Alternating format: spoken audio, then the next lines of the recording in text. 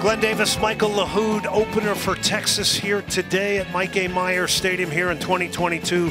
A lot of hope and promise here. First half, uh, obviously, uh, Lexi Missimo off the corner here. This is the opening goal, the game-winning goal from MJ Cox. And set pieces were the name of the game, and boy, did the Longhorns deliver. MJ Cox meets the flat service of Lexi Missimo, unmarked header to put the Longhorns up. That comes in the seventh minute. How about a young freshman getting her first collegiate goal? It was Liz Warden, a player who Coach Ann Kelly talked to us about. Goal poacher's finish. Credit to Cam Brooks on keeping this play alive and off the right knee of Liz Warden. So 2-0 at halftime against Lipscomb. We go in to the second half.